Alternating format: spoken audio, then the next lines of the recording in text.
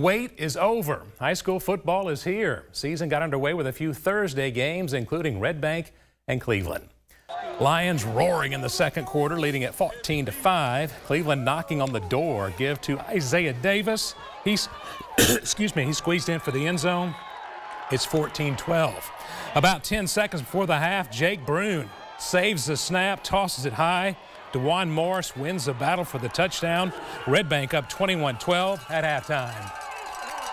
Lions defense was tough. Kobe Smith just wrecks this play. Smith gets the tackle for the loss. Next Blue Raiders series, here comes Smith again. He gets the strip. Ball is free. Cordell Howard muffs it. Crowd is going nuts. And it was Smith who actually recovered the ball in the end zone for the touchdown. Lions win this one 35 12.